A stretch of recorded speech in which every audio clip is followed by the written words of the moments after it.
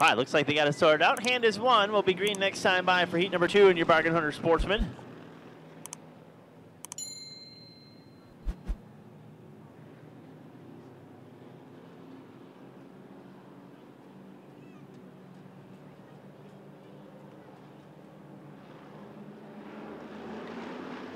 Lounsbury and Benke. Uh, we are green.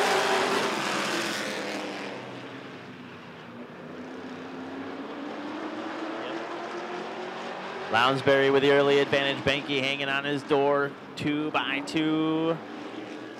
Ooh, a little bit of contact off of four. Frisch had to check up a little bit. Everybody stays straight.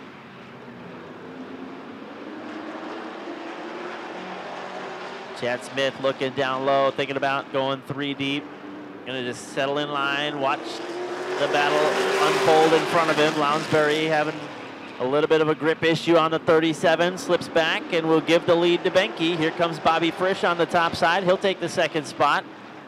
71 of Featherston tiptoeing his way through there, up to third. Frisch gonna dive underneath Benke over in one and two, trying to take the lead down the back straightaway. Featherston up to the outside of Lounsbury. Benke able to hold him off for now, halfway through it, four down, four to go.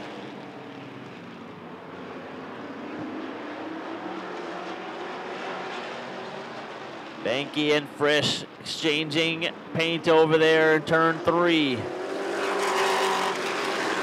Benke just about cleared Frisch that time down the front straightaway, but Frisch stuffs that 92 in there, one and two, and he'll draw even door to door. Featherston and Smith right there in the catbird seat. Two to go. Benke still your leader.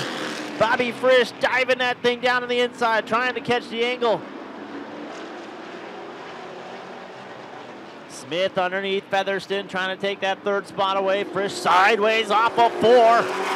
Let Benke get away. Featherston going to work to his outside, trying to get to the second spot. Frisch trying to close the door. Featherston had to check out. Frisch with one final shot at Benke in three and four. Not going to take it. Benke will be your winner. Frisch will run second. Third will go Smith. Fourth will be Featherston. And Howie Ware looks like that he will take, or Chad Lounsbury rather, will take fifth. And Brock Benke not going to go down and get some pictures taken, so he'll